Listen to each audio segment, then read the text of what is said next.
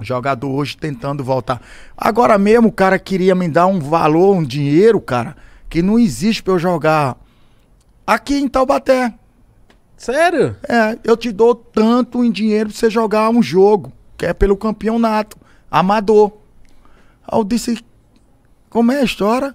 Ele é, eu disse, rapaz, se for um jogo festa, Eu tô aí. brincando e tudo pra tomar danone, eu vou. Agora, pra jogar um jogo é, é, é, Valendo, né? valendo, tô fora, porque é um jogo valendo, eles dão a vida.